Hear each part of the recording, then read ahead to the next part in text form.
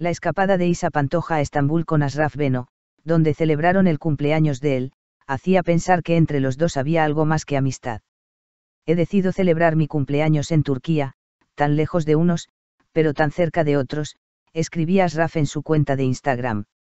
El mensaje parecía indicar que, efectivamente, Isa y él están muy unidos, algo que ha quedado confirmado con una imagen que Isa Pantoja ha compartido en su perfil en la red social.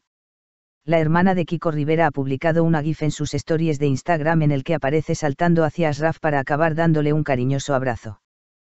Parece que entre los dos hay mucho amor.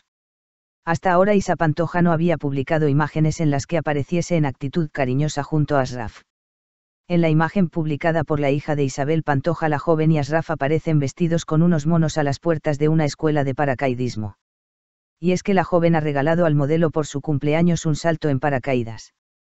¿Quién se tira hoy en paracaídas? ha escrito Asraf Beno en su Instagram. Sin duda, el regalo le ha hecho mucha ilusión. Aunque Isa y Asraf no se mostraron juntos en las redes sociales durante su estancia en Turquía, el modelo dijo en uno de sus stories que su novia se llama Isabel. A su regreso de su viaje a finales de la semana pasada, a los dos jóvenes se les vio en el aeropuerto con una gran sonrisa. Ahora, ese gran abrazo que Isa ha compartido evidencia aún más la buena sintonía que hay entre ellos.